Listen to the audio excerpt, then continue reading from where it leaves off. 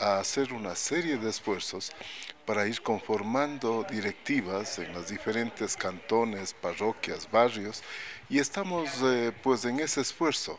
Eh, yo debo mencionarle que internamente se han conformado las directivas del Frente de Juventudes, del Frente de Profesionales, del Frente de Mujeres en primer lugar, y luego ya a nivel de las parroquias y cantones se están conformando las directivas. Por ejemplo, la semana pasada hemos conformado la directiva de la parroquia El Valle, estamos conformando en los próximos días las directivas de Quingeo, Santana, eh, Tarqui, etcétera, etcétera. Nosotros vamos a seguir exactamente las reglas eh, internamente, vamos a, tratar, y como ha sido nuestra práctica usual, eh, de la forma más democrática posible y cuando se llegue el momento de, de decidir sobre directivas de igualdad que será en los primeros días del mes de julio de este año y de candidaturas tanto para asambleístas cuanto para alcalde o prefecto,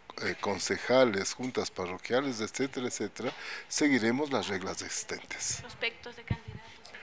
No todavía, este momento estamos más bien en el fortalecimiento del movimiento. Quisiera invitarles, el día de mañana tenemos una peña de confraternidad justamente con, con, el objetivo de más bien unir un poco a la familia de igualdad e invitarles para que nos acompañen en este acto que se desarrollará en el Colegio Médico a las 20 horas.